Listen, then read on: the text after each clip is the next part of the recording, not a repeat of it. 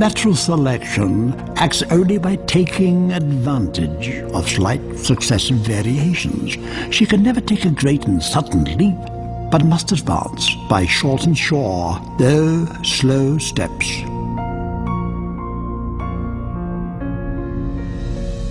I'm a scientist, uh, a biochemist, and biochemistry studies how life works at the level of molecules and, and also how life came to be the way it is.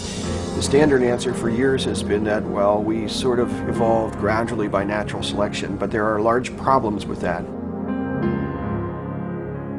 Since 1988, Dr. Michael Behe has investigated complex biological systems that seem to defy explanation by natural selection. For the longest time, I believed that Darwinian evolution explains what we saw in biology, not because I saw how it could actually explain it, but because I was told that it did explain it. And in schools, I was taught Darwinian biology. And through college and graduate school, I was in an atmosphere which just assumed that Darwinian evolution explained biology. And again, I didn't have any reason to doubt it. It wasn't until about oh, 10 years or more ago that I read a book called Evolution, a Theory in Crisis by a, a geneticist by the na name of Michael Denton, an Australian. And he put forward a lot of scientific arguments against Darwinian theory that I had never heard before. And, and the arguments uh, seemed pretty convincing. And at that point, I, I started to get a bit angry because I, I, thought I was being led down the primrose path. Here were a number of very good arguments, and I had gone through a, a doctoral program in biochemistry, became a faculty member, and uh, I had never even heard of these things. And so from that point on, I became very interested in, in the question of evolution, and, and uh, since have decided the Darwinian uh, processes are not uh, the whole explanation for life. Michael Behe's skepticism derived in large measure from what modern biology has revealed about life's most fundamental unit, the cell. In the 19th century, when Darwin was alive, scientists thought that the basis of life, the cell, was some simple glob of protoplasm, like a little piece of jello or something that was not hard to explain at all. This perception didn't really change too much until the early 1950s. But in the last half century, our knowledge of the cell has just exploded.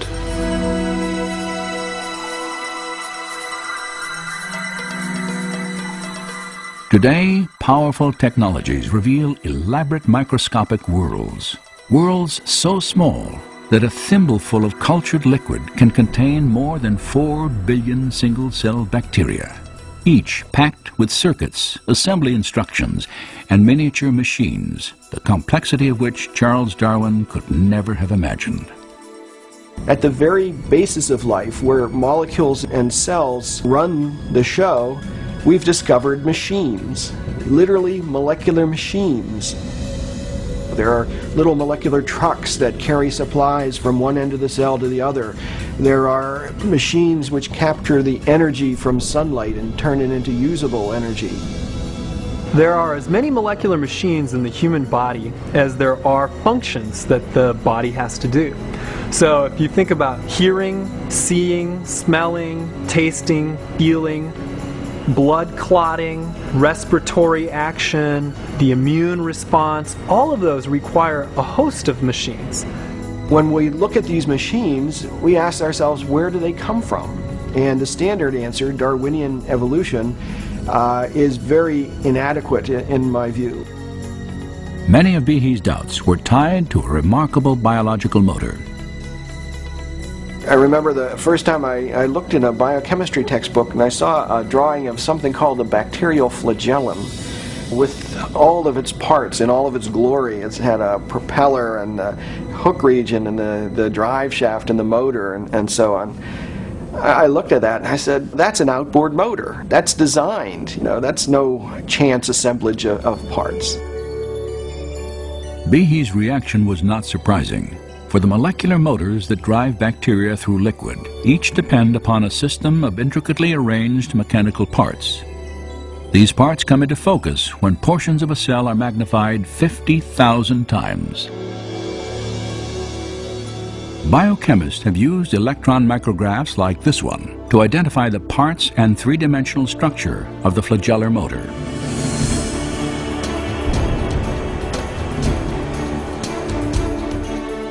In the process, they have revealed a marvel of engineering on a miniaturized scale. Howard Berg at Harvard has labeled it the most efficient machine in the universe. These machines, some of them are running at 100,000 RPMs and are hardwired into a signal transduction or sensory mechanism so that it's getting feedback from the environment.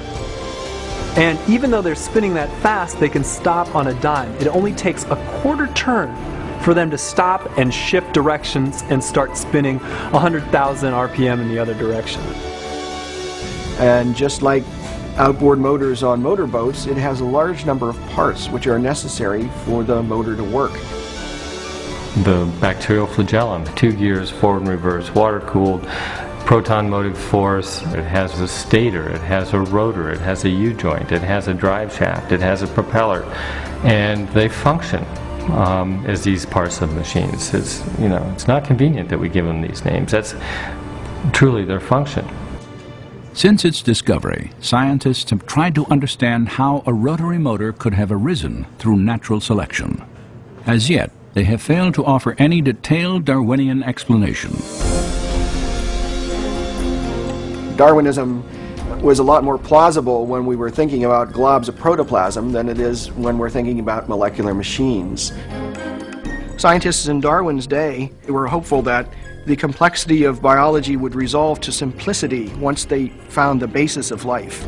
But we found out the exact opposite. And in the 20th century, we found out that the lower you go from whole animal to organ to, to tissues and cells, the more complex life becomes. And that the very basis of life, the, the cell, is just outrageously complex.